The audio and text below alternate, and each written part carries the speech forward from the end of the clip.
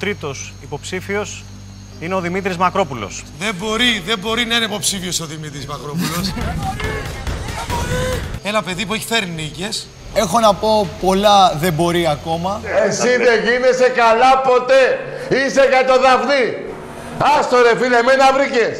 Πώς τον έδωσε ο Αλέξης που προχθές του είπε σε παλαμάκι και χόρευε σε μπέγικο Μακρόπουλος; Ό,τι γέννη είναι αυτό. Συγγνώμη, έχεις κάτι με τον εγκέφαλό σου πραγματικά τώρα; Αυτό εδώ πέρα είναι ακατοικητό, ξεκάθαρα. Περιμένω να τελειώσει το συμβούλιο και το μόνο που ακούω από την ομάδα σου είναι σένα και τον Κώστα να λέτε αερολογίε. Τρεις νύχτες δικές μου είναι ολόκληρη ζωή σου. Μην τα λες αυτά σήμερα. Μου κάνει μαθήματα τώρα εσύ.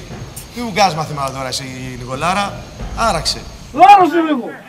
Ας παγιές τις πουλουριές.